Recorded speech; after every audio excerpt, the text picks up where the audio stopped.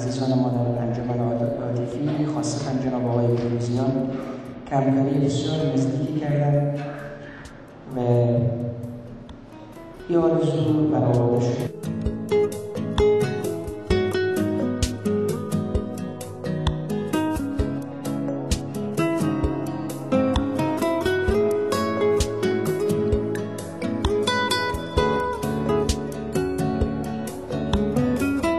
از برادرانی که این برنامه را تنظیم کرده و خصوصا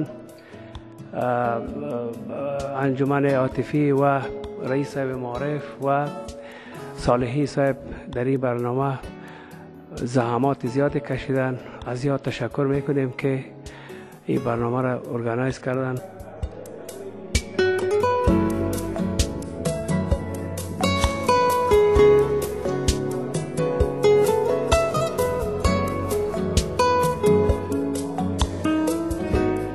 انجمن عاطفی یک نهاد غیر دولتی، غیر سیاسی و غیر انتفاعی هست که از حدود ده سال قبل توسط شرکت افغان فارما که یکی از شرکت های تجارتی خود ما هراتی ها هست تأسیس شد. به هدفی که بتونه به مردم هرات و به در مجموع مردم افغانستان خدمات را ارائه کنه.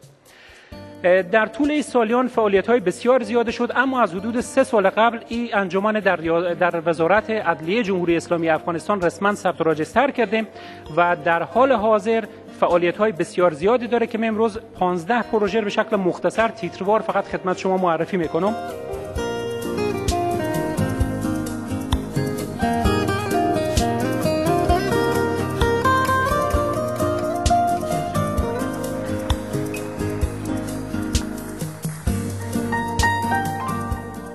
اگر روز رستاخیز از تو پرسان کنند که چه آورده ای چه می‌گویی؟